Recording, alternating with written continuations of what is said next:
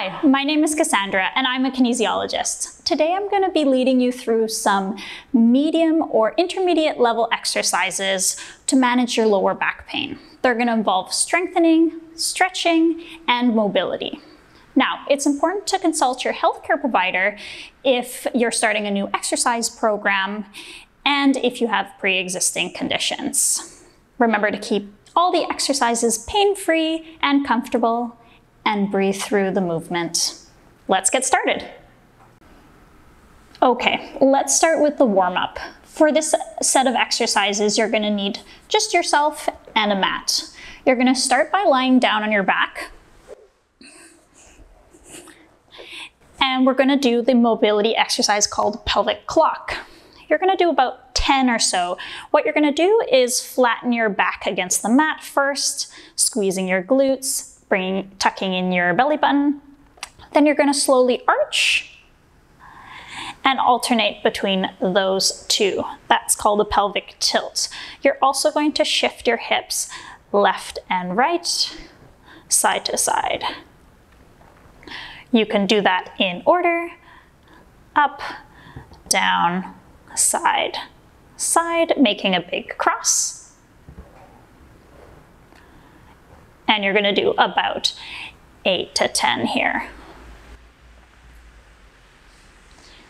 Now you're going to take one leg up to your chest and the other leg down to the floor.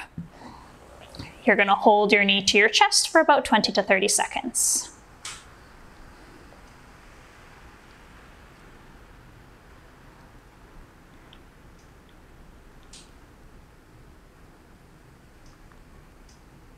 Great, you're gonna switch here. Keeping that other leg right down on the floor.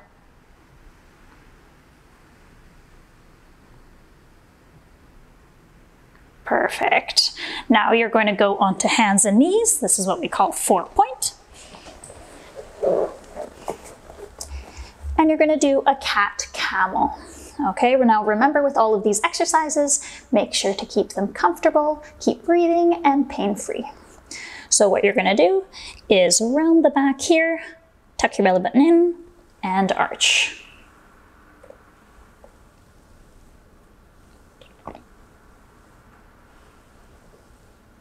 And you're gonna do about 10 here as well.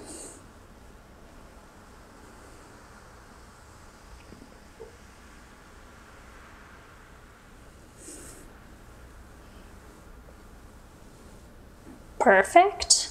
Okay, now you're gonna go down to your stomach. And this is what we call a cobra or a sloppy push-up. So what you're gonna do is you're only gonna go up onto your elbows. The resting position is here, down, face right onto the mat. And then you're just gonna shift your elbows up and extend your back as comfortable. Hold for about five, six seconds here and you're going to go back out.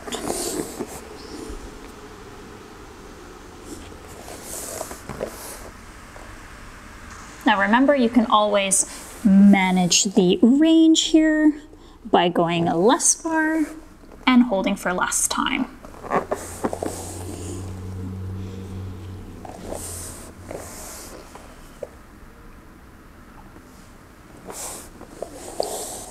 Great.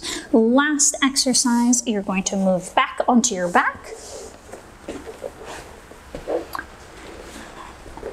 And you're gonna do some gentle rotation side to side with your knees. So feet nice and supported on the mat, knees together, and you're just gonna go over to one side just as comfortable. Having the hands relax on your stomach or to the side is great.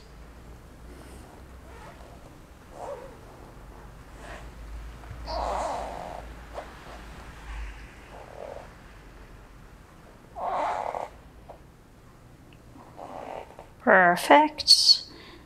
There you go, you're nicely warmed up.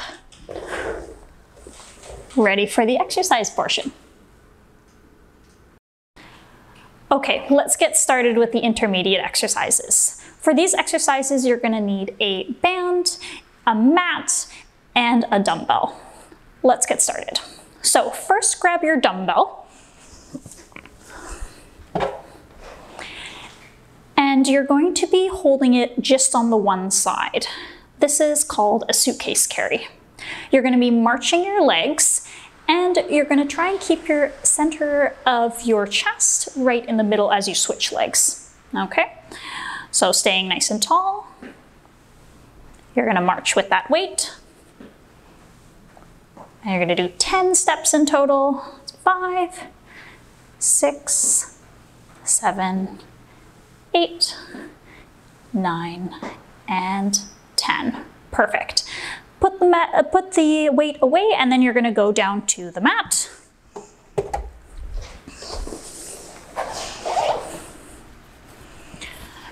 You're going to do a dead bug motion, but just with the legs. What that means is you're gonna be lying down on your back, no arms here.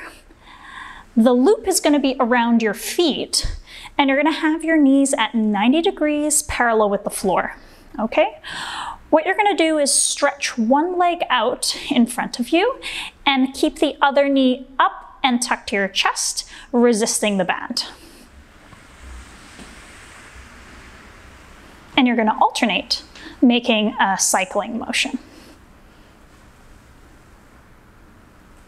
You're gonna do 10 here, four, five.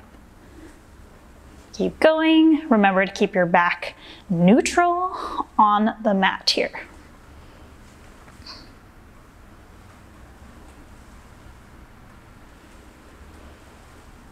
Perfect.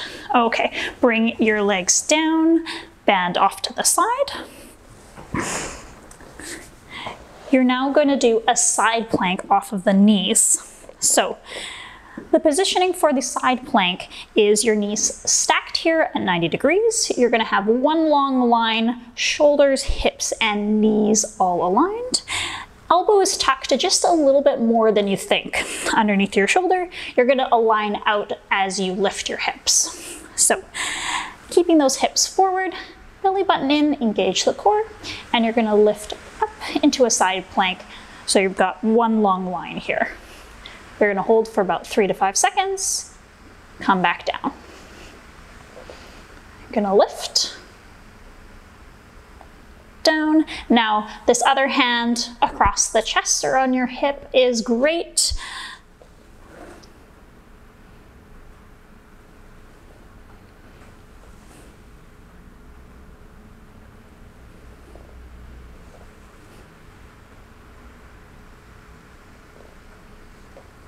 Good, feeling all that work here on the inside. Okay, you're gonna switch to the other side. Now, if you want more of a challenge, you can increase the time that you're holding. So have that nice setup again, knees aligned, knees, hips, and shoulders. Tuck your elbow in. Good. Now, if you're feeling discomfort in the shoulder, do a little bit of a shoulder blade squeeze before you start. That'll help set the shoulder blade in its spot.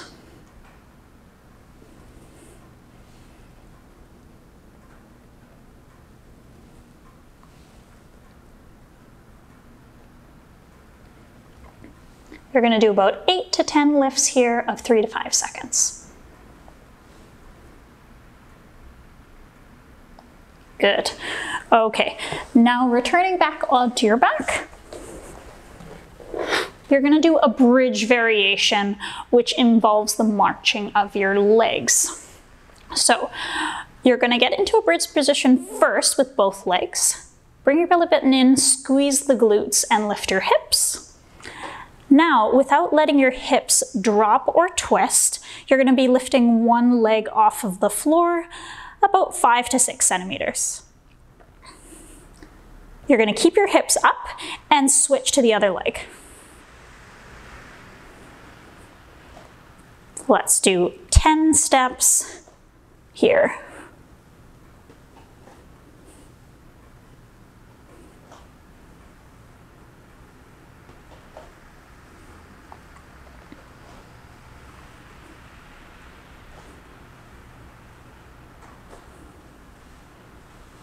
Perfect. If you're feeling it a little bit in your low back, just drop your hips down a little bit.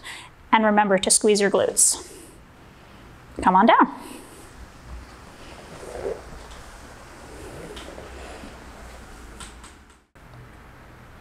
Thanks for joining me today.